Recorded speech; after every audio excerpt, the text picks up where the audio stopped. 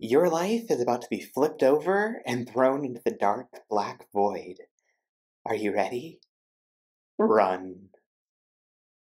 Hey everyone, and welcome back. So, this is it. You, me, we're just about ready to reset and start our islands fresh. Exciting, right? But before we do, let's first review the do's and the don'ts of resetting your island. Let's get into it.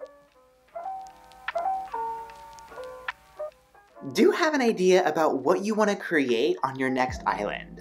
You don't need an extremely detailed map outlined and laminated, but definitely consider what your goals are for your next island adventure. What color scheme do you want to focus on? Is there an island theme that you want to try out? A big one to figure out is whether or not you want to keep the museum as a tent because once you've reset and placed down Blathers' tent at the beginning of the game, you're not going to be able to move it again until you upgrade it. So plan ahead and save yourself from the unnecessary stress later on. Please do not just up and leave all of the items and spare DIYs that you've collected to just be lost to the void. If you have a friend or a family member who plays Animal Crossing, or if you're just a baller rocking a second Switch, keep at least the rarest items you have and your spare DIYs. This is really where having an idea about what you want to try next can come in handy. If you know that you want a fancy spa area, or you know that you're curious to try out Jungle Core. This can really help you to prioritize what you keep. And especially remember to look through your cataloged items and your current list of DIYs. Remember to buy or craft at least a few of the specific items that you most want to keep and drop them off somewhere until you can go and recollect them.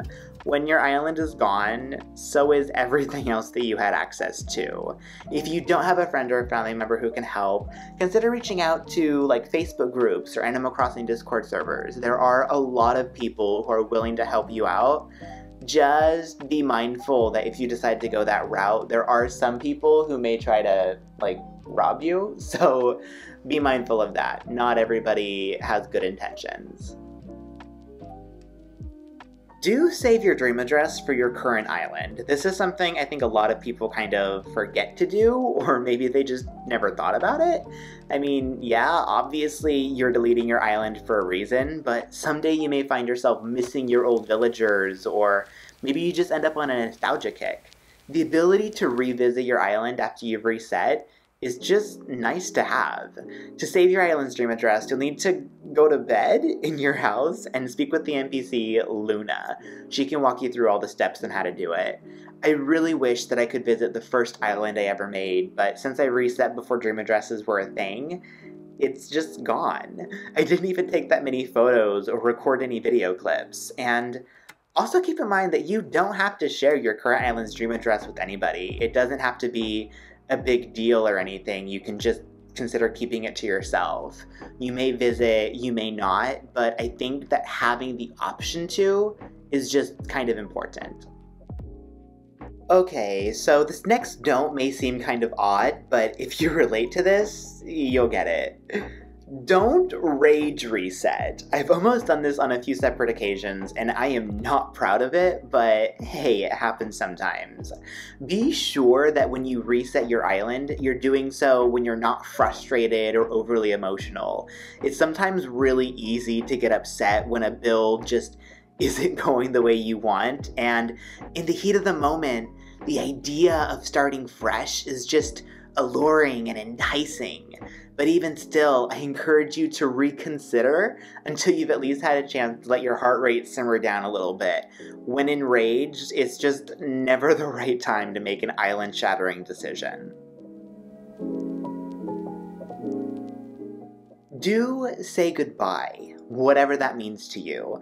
It could be something as simple as taking a final stroll around your island and gifting all of your villagers a parting gift, or it could look like you running around like a maniac, chopping down trees and destroying areas, leaving nothing but a catastrophic wasteland in your wake. Remember that you put time and energy into your current island, and pay tribute to that to yourself for the experiences that you had. I know it's kind of weird to seek closure in a sense while you're playing a goofy game, but it's still the end of a chapter. Acknowledge that. Please don't stress about your starter villagers. When their tents become houses, they're always empty and uninspired. This curse also follows the next few villagers that you can invite to your island. I don't think it's until you have your first campsite villager that they start having like their full decorated house. So, especially at the beginning, do not waste your Nook Mile tickets. Do not get upset if you forget about a plot and it autofills with Rodney. If you want your villagers to live in their proper, elegant homes, the first few you invite don't matter at all.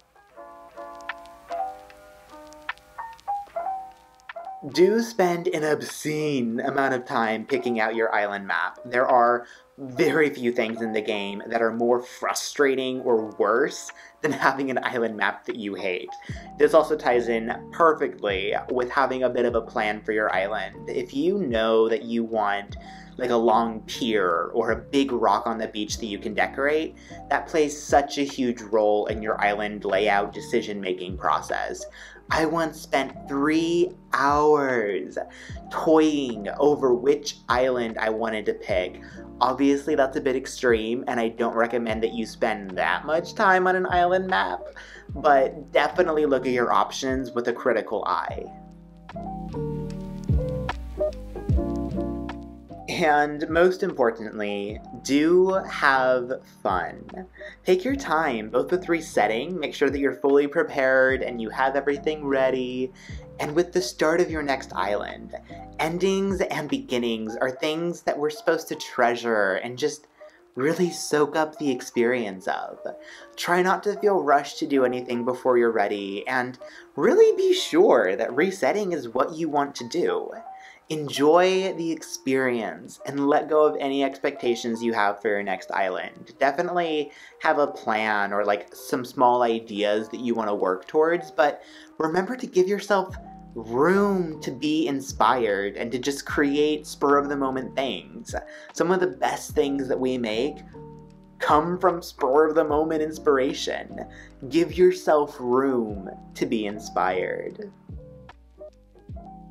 Thank you so much for watching. Leave a comment letting me know what you're most excited about for your new island. I am honestly just super excited to see Tommy wandering around with his little flag. He's just so adorable. Thank you so much, and I will see you in the next one. Bye.